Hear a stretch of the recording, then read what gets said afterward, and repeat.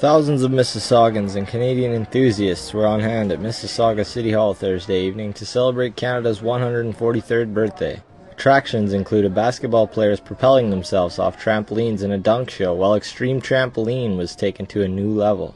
The evening celebrations got underway with Mayor Hazel McCallion and a number of politicians saying a few words. From there, Mississauga born comedian Mike Bullard took the mic as the night's performers hit the stage.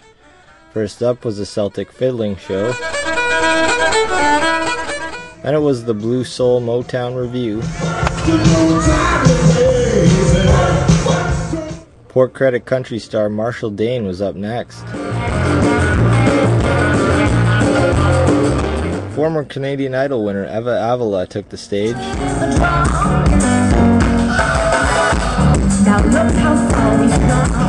And tragically hip frontman Gord Downie headlined the show with his new band, The Country of Miracles.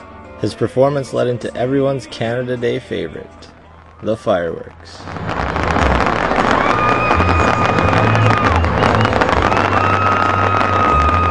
Chad Hackle, The Mississauga News.